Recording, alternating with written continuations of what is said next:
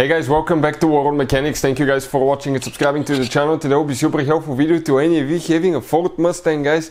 It could be any generation but we will be demonstrating on Mustang generation 6 guys, 6G, how to install paddle shift extensions guys. If they're worth it, if they're good, stay with us. We'll share where we got them from for a really good price and quick shipping by the way. Uh, before we start, let me tell you a little bit about us. Every single car, including this Mustang here, we take them completely apart and we try to make at least 2 to 300 free repair videos on our channels guys. Why we do that? Simply because our mission in the shop is to save you as much money as we can. All we need in return, please subscribe to the channel, like the video, that way we can keep making these absolutely free videos for you. Now, if you need to buy any tools, parts for your Ford Mustang, you want to save quite a bit of money, check out the link in the description of the video below. That's where we get all our tools and supplies from. So, what we have here, this is the paddle shifter extensions guys, okay, right there. Uh, amazing quality. They have different covers, by the way. We got the red ones because the interior on that Mustang 6G is completely red, guys. So check it out. It will look really, really cool. Beautiful, beautiful car, by the way. So one is for the left side. You can see it says the minus. The other one is the plus sign. Get isopropyl rubbing alcohol, pharmacy alcohol, clean on the inside where you're going to apply the double-sided tape. This is the double-sided tape, which is really uh, thin uh, tape but uh, very strong tape as well.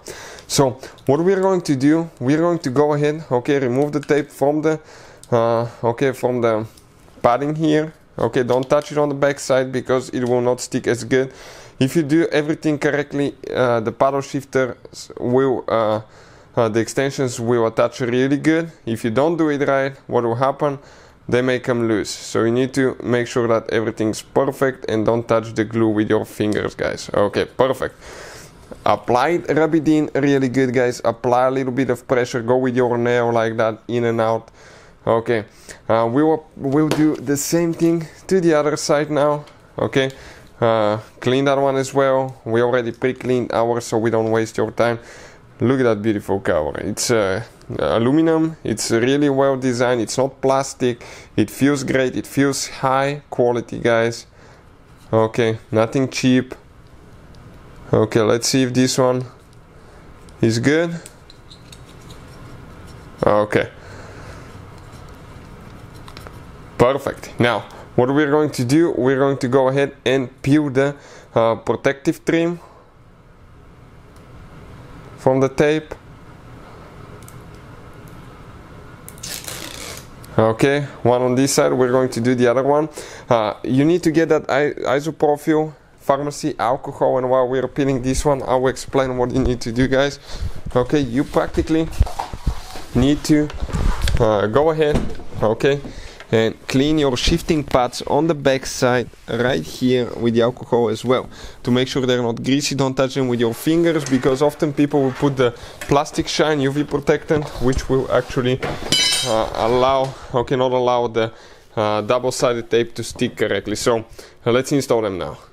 So all right. We're ready guys to install them. You need to align them. Everything goes really nice and tight okay let me just make sure that I position myself where by the way I can see right? Now you get the thing hold it with your fingers and we need to apply a little bit of pressure. Okay? Perfect. We're going to do the same to the other side.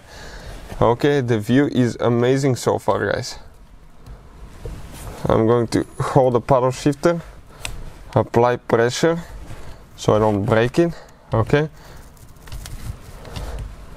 Now, you can get a little bit of a, like a hair dryer to heat up the pad. If you heat up the pad on the back side with a hair dryer, it will make the glue hot, warm, or do that on a warm day because on cold day it may not stick correctly, guys. And once you do that, okay, you're practically uh, ready to go, okay?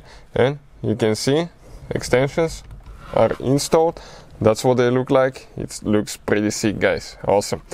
Uh, hopefully the video will be helpful to any of you needing to do that or see how it looks. Thank you for watching. See you next time